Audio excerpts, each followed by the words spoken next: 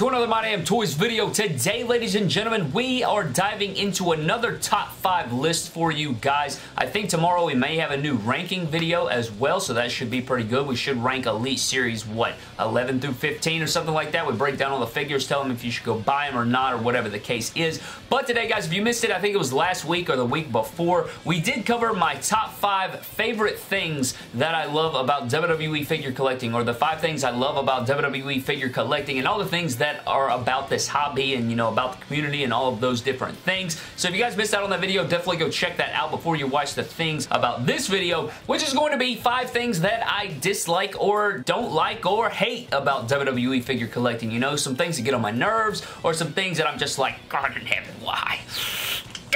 So, you know, we're going to dive into it today. We'll get through all the mess. We'll dive into it. I'll tell you guys everything. I don't think this is in a particular order per se, but these are some things that, you know, that I, I, I tried to give it some time and kind of simmer on it. Tried to come up with my top five or at least five things. Again, not in any particular order, but we're to dive into it here today, guys. Five things that I hate about WWE figure collecting. So let's just go ahead and start off, right? Let's dive into number five. Number five, I'm to go with aftermarket, all right? So you guys know as well as I do, we get a brand new figure, right? Uh, just say Drew McIntyre. We get his first time in the line figure or a figure that, you know, he, he came in Elite 9, but we didn't get another Drew McIntyre for a very long time. When his updated figure came out, and then if you missed the pre-order, if you missed the the first wave that hit retail, if you missed out on those couple times, his figure shot up to like $70, $80 MOC, which is just like almost choked on nothing, which is just kind of crazy. Like the aftermarket for the WWE action figures is just insane. Like just a figure will be like $20 and then you'll blink, a week goes by and for some reason the market has it at like $80. Why? Why does that happen? I don't know. The, the WWE figure market is so weird, especially the aftermarket. It goes up and down. It's like, it's like insane. It's literally like stocks and all kinds of crap, man. I know supply and demand is obviously the reason for it, but a figure's demand will just shoot up for the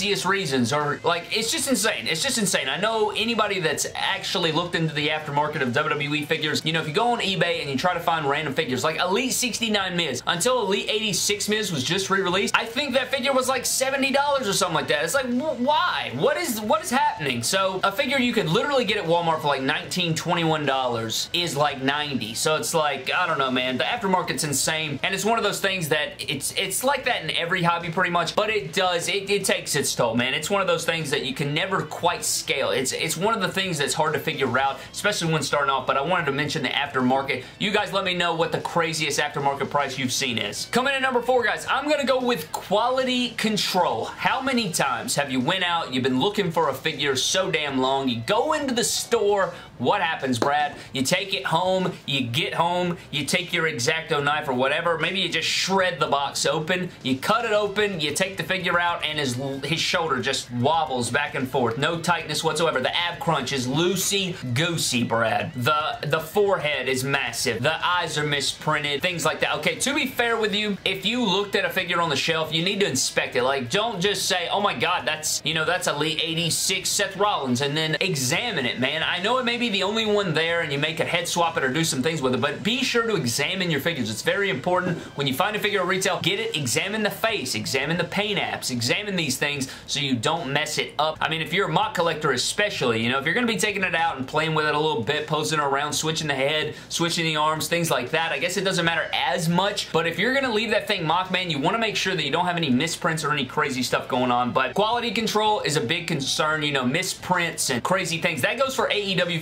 as well, man. That is something that drives me up the wall is the quality control. Coming in number three, guys, I'm going to go with basic figures. Now, to be honest with you, basic figures, they have their, their, their market, they have their place in WWE figure collecting, but I think since they switched the arm articulation and since they switched like some of the articulation and like, I, I don't know, anybody that buys basics nowadays, you know how it is. Like, they're basically statues. Like, unless you want to use the knee pads and the head sculpt, you really don't have a reason to buy basics, and I don't know, they're just very annoying. Like, the posing is insane. Anybody that pic feds with them, you guys are just national heroes. I don't know how you do it. I could never do it. I don't know if I've ever used a basic in a pic fed, maybe to like, maybe for like a, you know, like a general manager or an announcer or a commentator, or something like that, but I cannot do poses with them, man. Like, I don't know what it is. I can barely do them with elites. There's no way that I can do a full-fledged, you know, matchup or an MDT matchup with a basic figure. There's just no way, bro. There's no way, and basic figures are just, I don't know, you ever just get annoyed with them? Like, you'll go to the store and there's just like 76 of the same basic, and you're like, these will be here for three Christmases, you know? And it's just like, God in heaven. I saw the other day, I'll pull up the image if I can. Dude went to Walmart, there was 30 something Alexa Blisses in the general manager suit. Those will rot there for eternity. I don't know who's gonna buy all those, and it's the one I think with like the terrible head sculpt, so I don't know, man. Not a good look there. Basics just get on my I walk in there and I see six top talents Brauns, eight top talents Cena's, four top talents Rocks, six top talents Roman Reigns. I'm just like, get me the hell out of here, Brad. There's no elites on there, and it's just, I did get out of my face. The basics suck. Which, speaking of which, guys, is going to transition me into the number two thing, which is going to be figures not being at retail, man. Like, you go to retail, right? I, I go to my Walmart and Target at least like once a week. Like, at least. At least once a week, you know, grocery shop, take care of some things, and just, you know, every time I go, I might as well check the figures because you never know. And people always wonder, MDT, why don't you toy hunt? Well, Brad, it's because there's nothing there most of the time, right? You go down the aisle and there's nothing there. And when they do have something there, it's, I've already missed out the other day. Like, actually the other day, I went to Target. They had Unrivaled Series 4. Series 4. They had Matt Hardy, I think Santana, and Guevara. They had Sammy Guevara. And Kenny was missing, uh, Ortiz was missing, and I can't even remember the last figure in the set. My mind's gone blank. And Cody was missing. That's it. Cody was missing. And it's like, yes, that's very awesome that I found those, but three of them were missing. Uh, every time I find a new Elite Wave, like I found Elite 83, Edge was missing, Elite 82, Finn and Keith Lee were missing, so it's like even when I do find something or a new wave, the figures that I re really like from the wave are gone, and I think there's like this loophole where like, okay, so the distribution of the figures is terrible to begin with, but I think we've entered a thing where they finally get out to stores, and when people find them, they just buy everything because they're like, oh my god, if I don't buy everything, I'll miss out on everything, and so you kind of enter this loop where it kind of repeats itself, right? Okay, they have stuff, I buy everything, then nobody else has anything, and I'll wait and wait and wait until they come back, and then when they finally do restock, it's one wave. Again, they'll buy them all out. It's just this endless cycle of just garbage, and the distribution is just a whole nother aspect of it where it's just like, so yeah, figures at retail, man. I think everybody can relate to that one. And coming in at number one, guys, this really isn't number one. Again, these could be in any order. This is just five things off the top of my dome that, you know, get on my last John Brown nerve about collecting. But number one is lack of Ruthless Aggression era figures. And I think I don't think, you know, if you've watched wrestling in the last 10, 15 years, you probably can't relate to this as much because, you know, you, you like, I feel like we've gotten a pretty good amount, but the amount of figures from the year 2000 to around 2005, like I know we've gotten later years and I know we've gotten here and there and stuff like that, but the lack of like long pants Shawn Michaels and like 2003 era is Shawn Michaels and we didn't get a ton, like there's so many looks of so many different guys. I made a post on Instagram plugging all the different looks